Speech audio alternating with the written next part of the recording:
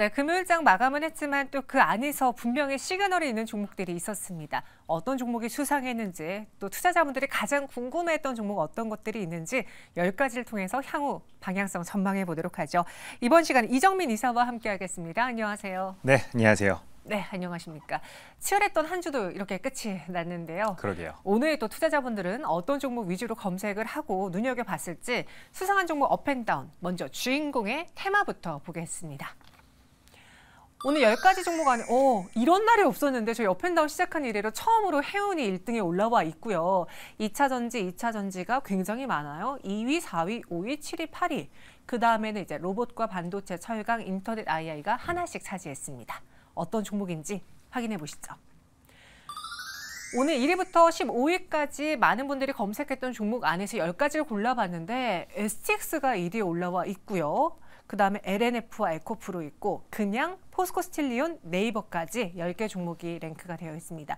어, 이 중에서 저희가 먼저 금양 이야기를 해볼게요. 지난번에 가장 수상했던 종목으로 금양을 꼽아주셨고 네. 뭔가 좀 눈여겨보자라고 했었잖아요.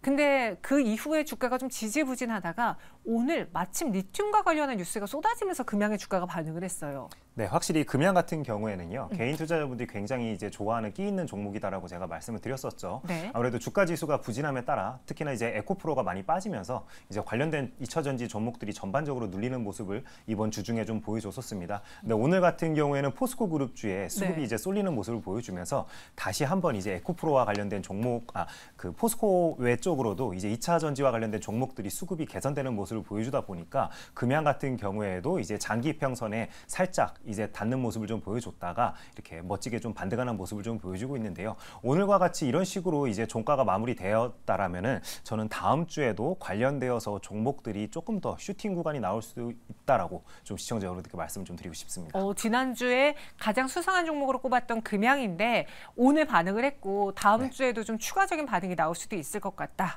네, 워낙 이제 그 어, 호재성 뉴스에 이제 종목들이 좀 잘 반응을 하는 편이죠. 음. 그러다 보니까 저는 충분히 다음 주에도 꽤 좋은 이제 주가 퍼포먼스가 나오지 않을까 이런 식으로 좀 현재 기대를 하고 있습니다. 네, 그럼 오늘 시장 안에서 또 눈여겨봐야 될 종목은 뭐가 있을지 1위 STX 보겠습니다. 진짜 오랜만에 해운주가 1위에 랭크가 되어 있는데 STX가 인적 분할한 네. 오늘의 첫 거래일에 STX 변동이 굉장히 컸어요. 그쵸. 상승 보이다가 막판에 급락으로 장을 마쳤는데 그 STX 그린 로지스랑 나뉘어졌잖아요. 네네. 앞으로 이 둘의 행보는 어떨지 STX에 대한 주요 포인트 한번 정리해 주시죠. 네, 일단 이번에 그 인적 분할이 드디어 이제 실시가 되었죠. 음. 그러다 보니까 관련되어서 이제 종목이 어, 양 극단으로 좀 움직이는 모습을 보여줬습니다. 그래서 네. STX 같은 경우에는 오늘 이런 식으로 좀 하락하는 모습을 좀 보여줬고요. 하지만 이번에 새로 이제 인적 분할되어서 상장을 하게 된 STX 그린로지스 같은 경우에는 음. 어, 이제 많이 좀 오르는 모습을 좀 보여줬죠. 근데 이제 어, 어떤 부분을 좀 사업을 맡게 되는지 우리 시청자 여러분들께서 알고 계셔야 될 것 같아요. 그래서 STX 같은 경우에는 원자재와 그 다음에 어, 산업재, trading에 좀 집중을 하겠다라고 이제 사측에서 좀 밝힌 바가 있고요. 그다음에 그린로지스 같은 경우에는 트로 트롤리고로부터 발생되는 그 거래 제품 배송을 포함한 물류 및 그 다음에 해운업에 집중을 하겠다라고 밝혔습니다. 그래서 새로 이번에 상장한 회사 같은 경우에는 물류 및 해운업을 좀 집중적으로 하는 회사다. 이런 식으로 포인트를 좀 기억하시면 될 것 같고요. 근데 우리 시청자 여러분들께서 이런 식으로 인적 분할이든 물적 분할이든 관련된 종목들의 그 이후에 주가 흐름을 좀 아시려면은 어 이제 그 분할이 되기 직전에 그 이제 주식들의 흐름을 좀 알고 계셔야 될 것 같습니다. 어 STX 같은 경우에는 워낙 그 리튬이나 니켈과 관련된 종목들이 그 움직일 때 어떻게 보면 보면은 대장군에 속하면서 같이 좀 움직이는 모습을 좀 보여줬었죠. 음. 그러다 보니까 분할 직전까지도 주가 지수가 꾸준하게 오르는 모습을 보여줬습니다. 그렇다면은 이런 식으로 분할이 된 이후에는 이벤트 종료로 시장이 받아들이는 경우가 굉장히 많습니다. 음. 그러다 보니까 그 이후에는 좀 빠지는 모습을 보여준다라고 시청자 여러분께 좀 말씀을 드리고 싶고요. 그다음에 그린 오지스틱 같은 경우에는 이제 신규 상장주에 속하죠. 그러다 보니까 이런 식으로 어, 특히나 오늘 같은 경우에는 이제 상한가까지도 도달하는 모습을 좀 보여줬었기 있었기 때문에 항상 그 상, 그 상장 이전에 관련된 종목들의 주가 흐름, 그러니까 주가 레벨이 상승해서 끝났는지 또는 하락 추세를 그리다가 끝났는지에 따라서 이제 향방이 좀 갈리더라. 이런 식으로 요약해서 좀 말씀을 드리겠습니다. 이 STX는 하락 전환을 했고 STX 그린로지스는 상한가를 기록을 했다. 그쵸. 그럼 앞으로 이 둘의 행보에 있어서 그 새롭게 생긴 STX 그린 로지스가 더 매력적이고 네. STX는 좀 덜 매력적이다. 이걸 오늘 시장으로서 보여준 거예요. 아니면 그냥 오늘은 인적 분할한 첫 거래일이기 때문에 새로운 신규 상장주로 쏠리는 것뿐이에요.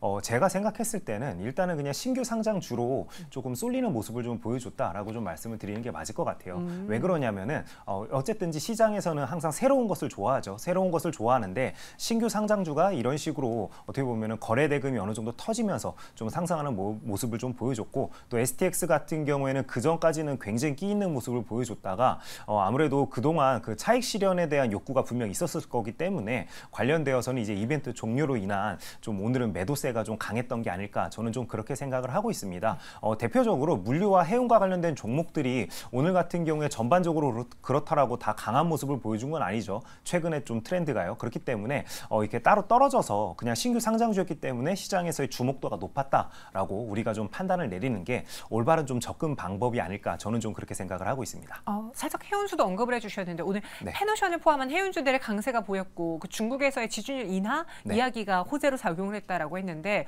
아직도 그럼 해운주에 대해서는 좀 확인하고 난 투자하겠다는 입장으로 들리거든요. 예, 맞습니다. 일단은 그동안 투자자분들이 기대감을 가지고 많이 좀 투자를 하셨었어요. 근데 그 기저에 깔려 있는 바로는 제가 생각했을 땐 그렇습니다. 결국에는 중국 경기가 살아날 것이라는 기대 감을 가지고 우리가 투자를 하시는 분들이 굉장히 많았다라고 저도 좀 생각을 하는데요. 아직까지 지표로 그 중국의 경기가 살아났다는 부분을 우리가 확인하기는 좀 힘들 것 같습니다. 어, 대표적으로 일단은 물동량, 전 세계적인 물동량 지수가 좀 증가를 해야 된다라고 저는 생각을 하는데 여전히 좀 지지부진한 모습을 보여주고 있죠. 특히나 우리가 좀 주목해야 될 부분은 결국에 미국 같은 경우인데 어, 미국이랑 유럽 시장을 좀 우리가 주목을 해야 될 것 같은데요. 일단은 미국 시장만 놓고 봤을 때는 어, LA 및 뉴욕의 그 물동량이 전년 동기 대비해 가지고는 각각 24% 그다음 23% 감소한 것으로 나타났습니다. 그렇다면은 전년 동기 대비해 가지고는 어, 두 자릿수의 하락세를 보였기 때문에 어, 전 세계적으로는 여전히 경기가 그 이제 아무래도 지준율이 여전히 높죠. 그러다 보니까 어, 하향 추세를 그리고 있다라고 우리가 좀 판단을 할 수 있을 것 같습니다. 그렇다면은 어, 이제 중국을 제외한 유럽이랑 미국 시장은 여전히 물동량이 감소하는 추세를 보여주고 있기 때문에 전반적인 관련된 종목들이 어, 추세를 그리면서 상승하기에는 여전히 좀 부족한 흐름세다라고 좀 판단을 내릴 수 있을 것 같습니다. 정리해 보자면 STX 다운을 줬습니다. 네. 뭐 단기적인 이슈도 있을 수 있겠지만 그렇게 썩 매력적이진 않다라는 게 그쵸. 오늘의 수상한 종목이 될 수 있는 확률은 낮겠네요. 네, 저는 좀 그렇게 생각을 하고 있습니다. 네, STX 그래서 다음 주에도 좀 쉬어가지 않겠느냐라는 의견 주셨고요. 이번엔 4위는 LNF를 보겠습니다. 오늘 2.65% 상승으로 마감을 한 LNF인데 참 비교되는 게 포스코 DX예요. 같은 그쵸. 코스피 이전 상장이라는 모멘텀을 갖고 있음에도 불구하고 누구는 연일 신고가를 가고 누구는 계속 지지부진하거나 오히려 떨어지고 참. 그래서 많은 분들의 원성을 산 LNF인데 오늘 장의 상승은 어떻게 봤는지 내일 장 다음 주에 대한 전망 어떻게 보십니까?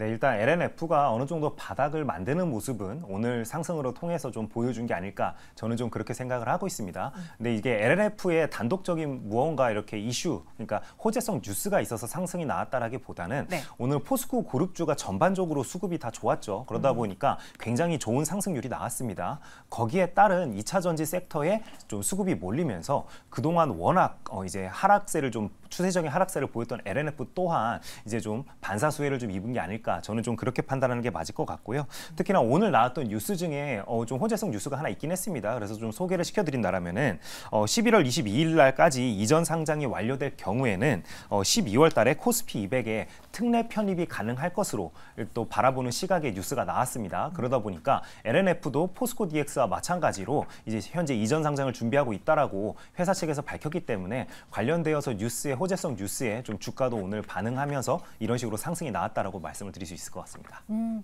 LNF 오늘 상승은 개별적인 요소도 있겠지만 포스코 그룹주를 필두로 한 그쵸. 2차 전지 쪽에 좀 관심이 네. 한 몫을 해줬다라고 했거든요. 어, 그럼 LNF는 코스피로 이전을 한다 하더라도 포스코 DX처럼 혹은 이전에 그 포스코 퓨처엠처럼 네. 그런 강력한 상승은 좀 안 나올 거라고 보시는 거예요? 저는 사실 그 그렇게 큰 상승이 나오기는 좀 힘들 것으로 현재 좀 생각을 하고 있습니다. 어. 그게 왜 그러냐면요. 일단 첫 번째로 어, 워낙 악재성 뉴스가 또 많습니다. 어, 일단은 이익이 어느 정도 좀 받쳐줘야 될 텐데 어, 올해 상반기만 놓고 봤을 때 영업이익률이 1%대였습니다. 그러다 보니까 어, 이런 식으로 주가 또한 그 어, 개인 투자자분들의 이목이 어느 정도 쏠릴 때도 그렇게 어, 슈팅하는 모습을 좀 보여주지 못하고 있는 게 가장 좀 안타까운 모습이 아닐까 좀 생각이 되고요. 특히나 제가 이제 좀 관련되어서 좀 알아봤더니 어, 고가의 어, 이제 원자재가 비쌀 때 이제 매입했던 물량을 현재 투입을 지속적으로 좀 하고 있죠. 아. 이게 판가로 전이가 되면 상관이 없는데 판가는 또 하락세를 보여주고 있습니다. 그러다 보니까 이런 식으로 영업이익률이 떨어질 수밖에 없더라. 특히나 시장에서 지속적으로 나왔던 말이 테슬라와의 계약이 워낙 좀 이렇게 LNF에게는 어, 별로 좋지 못한 이제 계약을 하다 보니까 이런 식으로 이익률도 박살이 난 게 아니냐 이런 식으로 이야기가 지속적으로 좀 나오고 있죠. 그러다 보니까 이전 상장 효과를 오로지 좀 누리지 못하는 모습을 또 보여주고 있고요. 어, 또한 제가 그 항상 듣기로는 지금 현재 기관계 창구 쪽에서 네. LNF에 워낙 많이 물려 있습니다. 아. 왜 그러냐면 에코프로를 이제 아무래도 좀 적극적으로 매매를 못하면서 상대적으로 그러니까 벤치마크 대비해가지고 수익을 좀 많이 못 냈었죠. 그러다 보니까 상대적 박탈감을 느꼈던 수급들이 LNF를 굉장히 많이 좀 매수를 했었습니다. 맞아요. 근데 LNF가 어, 워낙 이제 이익률이 안 나오다 보니까 물려 있는 제가 알기로는 하우스가 굉장히 많은 것으로 현재 알려지고 있죠. 그러다 보니까 이게 주가가 조금만 올라도 워낙 이제 세론이 강하게 나오는 모습을 보여주는 게 동사의 현재 주가 흐름이다라고 좀 말씀을 드리겠습니다. 어, 저희 시청자분들도 왠지 LNF는 뭐 세력이 약한 것 같아요라는 의견도 네. 주셨고 또 외국인 투자자들의 비중이 워낙 많기 때문에 여기서 더 사기가 좀 힘들어 보인다라는 그렇죠. 이야기도 올려주고 계십니다. 그럼 LNF 일단 다음 주는 업이라고 의견을 주셨는데 네. 전체적인 뉘앙스는 네. 약간 좀 조심하자라고 들리거든요. 네. 보유자분들을 위한 투자 전략도 전해드린다면요. 어, 사실 보유자분들께서는 더 이상 빠질 구간이 없을 정도로 현재 주가가 지지부진한 상태이기 때문에 그냥 들고 가셔도 된다라고 좀 생각이 됩니다.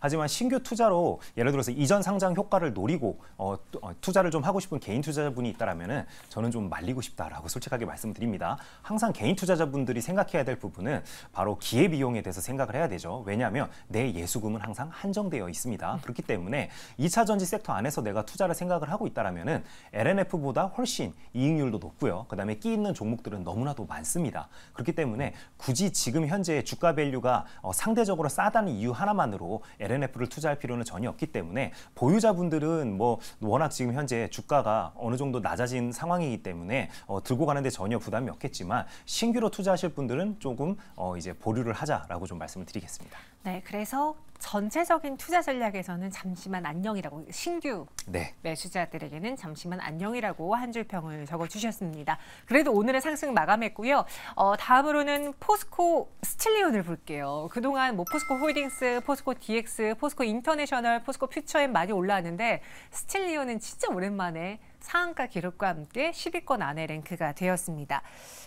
내일장도, 그러니까 다음 주도 추가적으로 갈 것으로 보시는지 오늘 장의 상승 요인 어떤 것으로 판단하셨습니까? 네, 일단은 뭐 두 가지 요인이 있을 것 같습니다. 첫 번째로는 항상 포스코 스틸리온 같은 경우에는요, 뭐 재건, 그러니까 우크라이나 재건과 관련된 또는 네옴시티와 관련된 뉴스가 나오면 좀 주가가 적극적으로 반응하는 종목이죠. 근데 오늘 같은 경우에는 이제 그 우크라이나 재건과 관련되어서 좋은 뉴스가 좀 나왔습니다. 그래서 우크라이나와 우리나라 정부가 그 6대 프로젝트를 발표를 했습니다. 그래서 재건과 관련되어서 그래서 어, 간략적으로는 뭐 철도와 공항, 댐 등 기반 시설과 관련되어서 이제 프로젝트를 진행을 한다라고 좀 밝혔고요. 그러면서 이제 재건 사업에 약 60, 아, 30조 원 규모의 철강제가 필요할 것으로 현재 좀 이제 시장에서는 좀 판단을 했고요. 그러다 보니까 오늘 같은 경우에는 포스코 홀딩스 같은 경우에는 기관계 창구에서 좀 수급이 잡히는 모습을 좀 보여줬었고 인터내셔널과 DX 같은 경우는 기관과 외인, 그러니까 양매수세가 좀 잡혔다라고 볼 수 있을 것 같습니다. 그래서 전반적으로 오늘 같은 경우에는 어, 이제 포스코 어, 스틸리온이 어, 대장주로서 좀 종목을 좀 이끌면서 관련된 이제 섹터들을 이제 끌어올리는 그런 효과를 보여줬다. 그래서 포스코 그룹주가 오늘은 전반적으로 대부분 다 강세를 보여줬다라고 좀 말씀을 드릴 수 있을 것 같고요. 특히나 이제 개인 투자자분들이 포스코 그룹주들을 굉장히 좋아하십니다. 맞아요. 그러다 보니까 이런 식으로 어, 강한 슈팅이 나오는 종목이 등장을 하면요. 어, 관련된 종목들이 기본적으로 최소 3천억 원 이상 거래 대금이 터지면서 이제 장대 양봉을 그리는 경우가 많았기 때문에 어, 이제 관련돼서 종목을 들고 계셨던 분들이라면 오늘 굉장히 기분 좋게 한 주를 좀 마감하지 않았을까 이런 이렇게 좀 생각이 됩니다.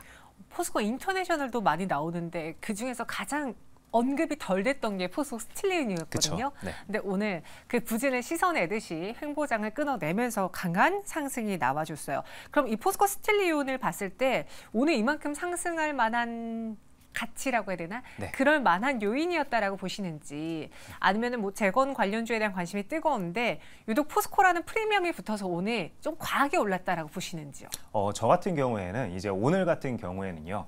그 포스코 프리미엄이 좀 붙었다 종목에 음. 이렇게 좀 말씀을 드리고 싶어요. 어, 워낙 이제 포스코 이제 스틸리온 같은 경우에는 어, 상대적으로 포스코 그룹주 안에서는 좀 작은 시총을 보유한 회사입니다. 그러다 보니까 이런 식으로 한번 상승이 나올 때 좀 상한가까지 도달하는 이런 강한 슈팅이 좀 나오는 모습을 종종 보여주기도 하고요. 그다음에 어, 동사 같은 경우에는 그러면 어떤 부분을 좀 시장에서 좋아하는 호재성 뉴스로 받아들이는지 제가 좀 간략하게 좀 말씀을 드린다라면은 어, 이전에는 또 상한가 부분까지 올랐을 때는요. 어, 전기차용 그 배터리팩 커버를 개발한다라는 이야기가 나오면서 한번 좀 강한 슈팅이 나왔던 이력이 있었습니다. 근데 동사 같은 경우에는 워낙 주력으로 현재 생산하고 있는 부분은 컬러 강판 및 도금 강판을 현재 주력으로 좀 생산하고 있다는 부분도 우리 시청자 여러분들께서 알고 계시면 좋을 것 같습니다. 네, 포스코 스틸리온 오늘 장을 포스코 효과 속에 그 프리미엄 속에 조금 더 남들보다 강하게 그쵸. 올랐다라고 평가해 주셨어요. 그럼 내일 장도 up이라는 의견을 주시긴 했는데 일단 상가 마감을 했으니까 다음 거래를 좀 시가로 뜰 확률이 크잖아요. 그쵸.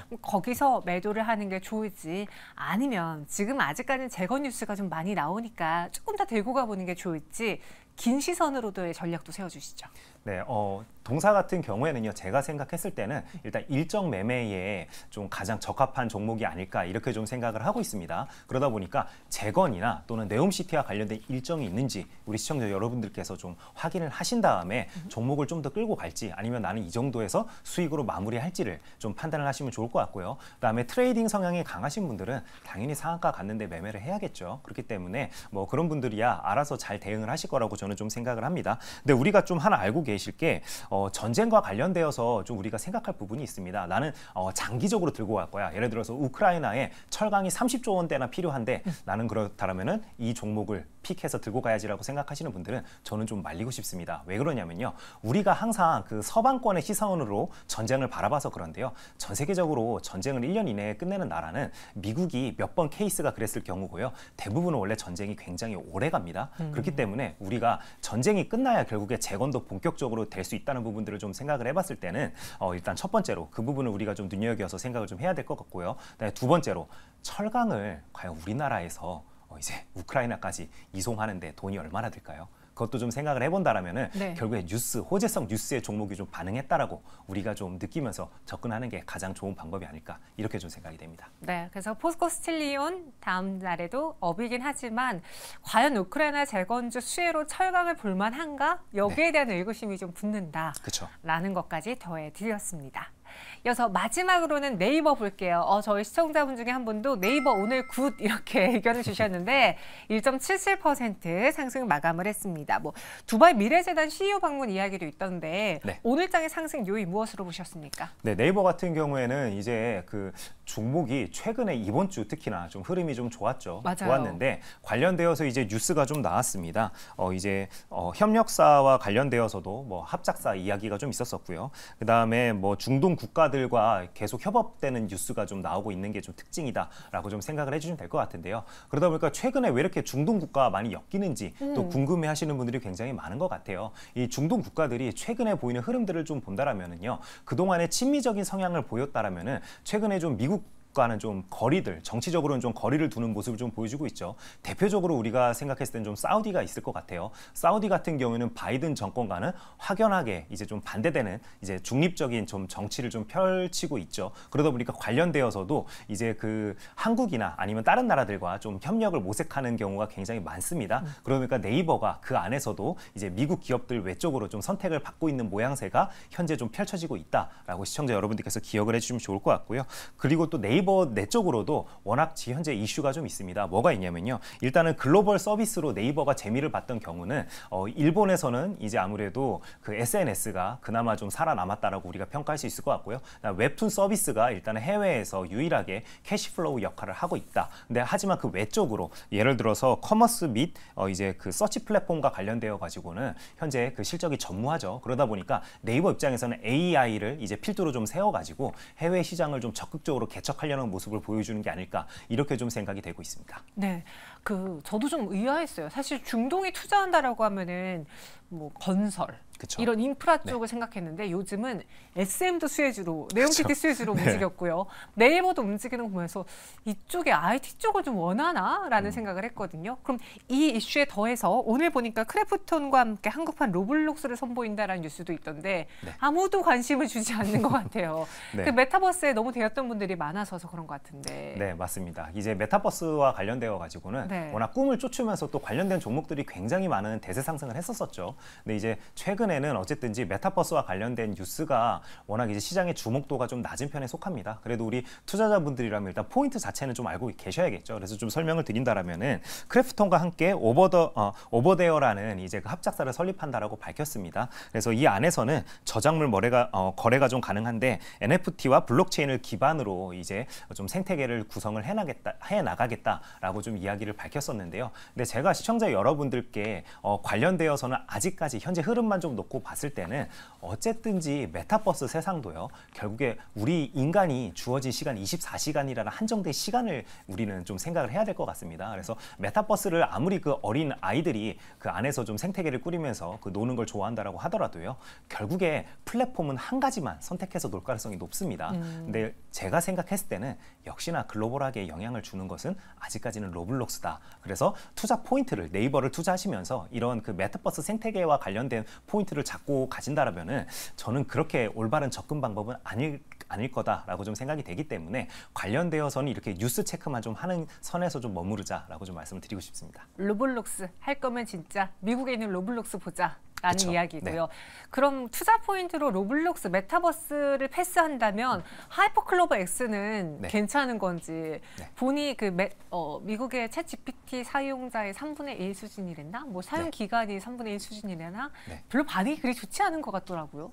네, 맞습니다. 그게 왜 그러냐면요. 원래 처음에 런칭을 하고 나서요. 음. 그 서비스가 자리 잡기까지는 꽤 상당한 시간이 걸린다라고 좀 생각을 해주시면 될 것 같아요. 예를 들어서 네이버가 맨 처음에 우리나라 플랫폼 시장을 씹어먹 기 전에 네. 이제 서, 서비스를 좀 선보였던 게 바로 그 지식인이라는 서비스였죠. 근데 지식인 같은 경우에도 처음에는 굉장히 회의적인 시각을 가진 분들이 많았습니다. 근데 이제 어느 정도 이제 서비스가 자리를 잡으면서부터는 다음을 비롯해서 여러 가지 당시에 존재했던 서치 플랫폼들을 전부 다 이제 점유율을 아예 이겨버리면서 네이버가 시장을 독식하게 되었었죠. 그래서 그런 부분들을 좀 생각을 해본다라면은 어, 한국어에 특화된 결국에 서치 플랫폼 같은 경우에는 어, 네이버죠. 그리고 가장 많은 데이터베이스를 보유한 것도 결국에 네이버입니다. 그렇기 때문에 저 같은 경우에는 어, 이제 챗 GPT의 대항마로서 그 서치 플랫폼 안에서 AI와 관련되어서는 네이버가 여전히 가장 좀 유효하다 그리고 유망하다라고 좀 생각이 되기 때문에 어, 서치 플랫폼 안에서 그 AI와 관련된 포인트로는 저는 대장주로는 네이버가 가장 굳건할 것으로 좀 생각이 됩니다. 어. 그렇기 때문에 관련되어서 포인트를 찾고 계신 시청자 여러분들이라면은 한번 기, 어, 기대를 좀 해보자. 그리고 여전히 네이버와 관련되어서는 그 어떻게 보면은 그동안 뭐 HBM을 비롯해서 그 반도체 안에서도 그 AI와 관련되어서 여러 가지 이슈가 있었었죠. 근데 결국에 그 우리가 서비스를 체감할 수 있는 부분에서는 가장 많이 누릴 수 있는 게 결국에 네이버가 아닐까 저는 좀 그렇게 생각을 하고 있습니다. 네. 하이퍼글로벌 X의 실망감은 주가에 반영이 됐고 또 이번 주에 주가 흐름 좋고 네. 또 자리 잡으면은 이게 모멘텀이 될 수 있으니까 네. 나는 네이버를 믿어보겠다로 그쵸. 들렸습니다. 네. 이렇게 네이버까지 봤고요. 그럼 전체적인 열가지 종목에 대한 이정민 이사의 의견은 어떨지도 확인해 보겠습니다. 수상한 종목 UP&DOWN STX와 에코프로, 레인보우 로보틱스만 다운이고 나머지 일곱 개 종목 up을 주셨는데 이 중에서 가장 수상한 종목 베스트 종목 뽑자면 뭘까요? 어, 저는 그 지난주에는 금양을 좀 시청자 여러분께 말씀드렸고 어, 오늘 같은 경우에는요 포스코 홀딩스를 좀 가지고 왔습니다. 그래서 어. 포스코 홀딩스를 좀 눈여겨보자. 그래서 오늘 종가에 좀 편입을 해보자라고 좀 말씀을 드리고 싶어요. 시간외 네. 네. 시간외도 이제 거래가 가능하겠죠. 그건 이제 각자의 선택에 좀 맡기는 걸로 하고요. 네, 포스코 홀딩스가 이제 호재성 뉴스가 나왔습니다. 그래서 좀 안내를 해드리려고 하는 건데요. 어, 미국에서 그 세계 최대 리튬 매장지로 그 맥더미 칼라데라는 곳이 이제 발견이 되었다라고 합니다. 네, 포스코 홀딩스가 그 미국 기업과 공동 개발 MOU를 체결했다는 뉴스가 이번에 나왔죠. 그래서 참 저는 이 뉴스를 보면서요. 아, 미국은 정말 기회의 땅이다. 진짜 파면은요 안 나오는 원자재가 없습니다. 그 정도로 미국은 굉장히 어, 광활한 이제 영토를 가지고 있죠. 근데 거기에 발맞춰서 또 포스코 홀딩스가 굉장히 일을 열심히 하고 있구나. 역시 기존에 닦아놨던 그런 비즈니스 플랫폼, 그러니까 비즈니스 인적 네트워크도 참 무시를 못한다라고 저는 이번에도 한번 좀 느꼈고요. 그렇기 때문에 포스코 홀딩스 그동안 주가가 굉장히 어떻게 보면은 장기 평선에 닿으면서 반 등하는 모습을 이번 주에도 보여줬었는데 오늘 같은 경우에도 20일선 올라타면서 종가가 또 마무리하는 모습 보여줬죠. 그렇기 때문에 저는 다음 주에도 충분히 좋은 주가 흐름을 좀 보여줄 가능성도 높다라고 좀 생각이 됩니다. 그렇기 때문에 포스코 홀딩스를 한번 시청자 여러분들께 눈여겨보자라고 좀 말씀을 드리겠고요. 그다음에 저는 스윙적인 관점에서는 목표 주가는 70만 원으로 좀 잡아봤고요. 그다음에 손절 라인은 52만 원을 손절 라인으로 한번 설정을 해서 시청자 여러분들께 추천주로 포스코 홀딩스를 좀 말씀을 드리도록 하겠습니다. 그래서 아까 금양도 다음 주에 좀 기대가 된다라고 한 거였군요. 네. 리튬 관련한 뉴스가 나올 수 있기에 그렇죠. 대장으로는 오늘 가장 수상한 종목으로는 포스코홀딩스 꼽아드렸고요. 목표 주가 70만 원, 손절가 52만 원 제시했습니다. 이성민 이사, 이정민 이사와 함께했고 여기서 인사드릴게요. 고맙습니다. 네, 감사합니다.